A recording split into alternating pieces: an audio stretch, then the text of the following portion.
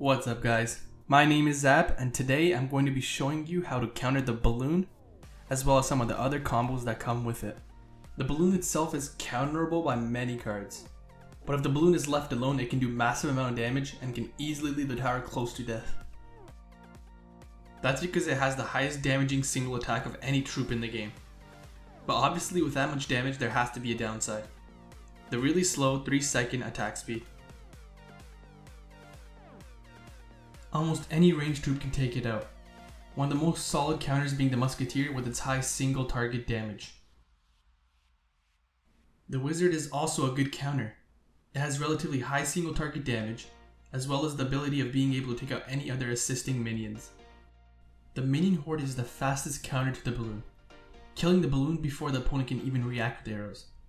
The only problem with it is, if they get preemptively arrowed after your opponent learns your strategy or even if they have some sort of splash unit.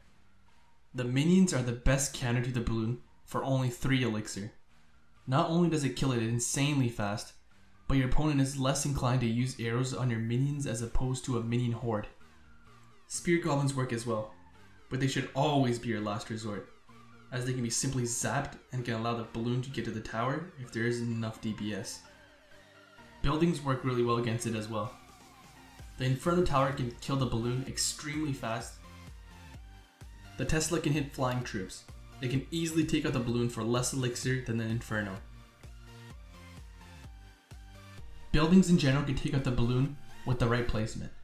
Placing it two tiles to the right and two tiles up from the opposite lane ensures the balloon gets hit by both towers, without any building having to actually attack it. The cannon is a prime example, most people like to run this card because of how effective it is for the elixir cost. Even though it can't attack the balloon, it poses as a distraction, which allows the tower to easily take it out. Same works with almost all buildings, including elixir collectors. As you have seen, balloons themselves are easy to counter. What happens if the balloon is accompanied by something like a giant? With the giant in front of the balloon, taking out the strategy becomes more difficult, because the giant absorbing the damage for the balloon so it can reach the tower. The balloon and giant strategy forces the opponent to use a more versatile approach. Because of the fact that a high HP ground unit and a flying unit have to be taken care of. Inferno Tower is the absolute best counter to the balloon and giant strategy. Placement is the key to beating the strategy effectively. If you place the Inferno two tiles to the right and two tiles up from the opposite lane, it can take out the giant and the balloon by killing the giant once it reaches the tower and allowing both towers to hit the balloon to ensure it gets destroyed. Precise placement is necessary. If you place it below the effective spot, you will only lure the giant, and the balloon will continue to head to the tower. And it will take too long to kill the balloon, allowing you to get a few massive hits off. Having a freeze handy is good against this strategy.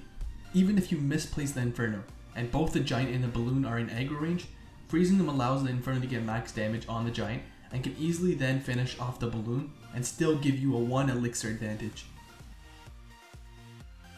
Even a zap works if you misplace the Inferno Tower, but precise timing needs to be met.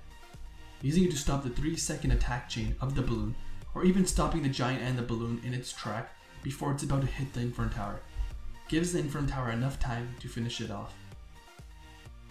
The cannon itself is really bad against the balloon and the giant, but accompanied with other troops can actually bring positive elixir traits. In this example I use fire spirits and minions. By using the cannon to lure the giant and the balloon, I then use the fire spirits to get instant burst off and allow the minions to get high DPS. It can also be countered with the wizard and cannon combo. Placing the cannon in the proper spot, then using the wizard from the side of the bridge to hit both the giant and the balloon ensures that they both get whittled down. This strategy revolves around using the cannon to lure and allow the wizard to splash both the giant and the balloon. In this replay, my opponent is using a Lava Hound balloon push. For the strategy, having a splash or AoE spell along with Inferno is the best way to take care of it. By pulling the Lava Hound with the Inferno, then once it dies, kill the lava pups with splash or AoE, then use any troops to kill the leftover balloon, ensures that the strategy is taken care of. Thanks for watching. If you like the guide, subscribe and leave a like. If you want more, leave a comment below on what you guys want to see next.